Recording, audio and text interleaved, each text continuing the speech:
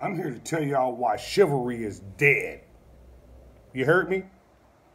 Dead. Now, gotta do this quick. But, um, one day it's windy.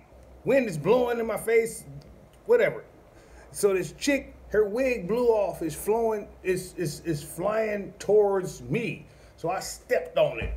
I stepped on the bitch wig to stop it from flowing, I mean, you know, going down the street. And she said, Don't step on it!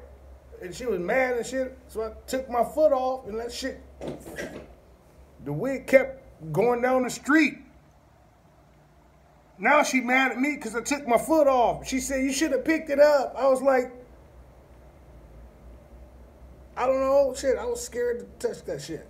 But somebody let me know if I did the right thing. Okay?